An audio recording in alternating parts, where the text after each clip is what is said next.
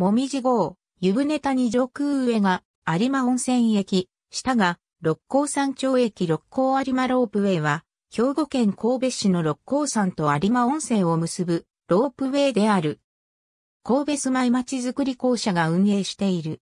かつては全長が約 5km ある日本一長いロープウェイであったが、現在は表六甲線が営業休止になり裏、六甲線のみで運行されている。拳号六甲山頂駅より1993年から裏、六甲線で使用されていたゴンドラは、向こう側車両と日本ケーブルで製造された2代目のゴンドラである。車番はこと6で、5は、もみじ6は、拳の愛称がある。都色は、もみじが黄色と青のツートンカラーで、拳がオレンジと青のツートンカラーであった。老朽化のため2020年1月13日で運行を終了。3代目のゴンドラはスイスクア社製の赤色と銀色のゴンドラが選定されている。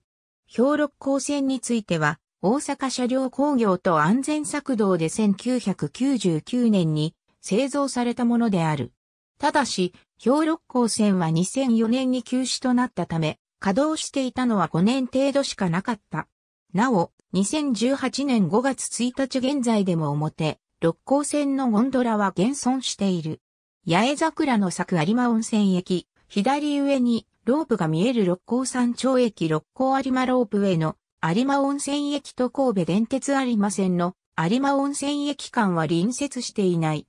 氷六甲線の休止と同時に、六甲山頂間ツリー駅は、六甲山頂駅に、有馬駅は、有馬温泉駅に解消された。マイカー客の増加で、ピーク時に比べて利用者数が半減したことや、老朽設備の更新に要する費用の問題などの理由から2004年12月19日をもって休止された。なお、同日より六甲山上循環バスが六甲山頂駅まで路線を延伸している。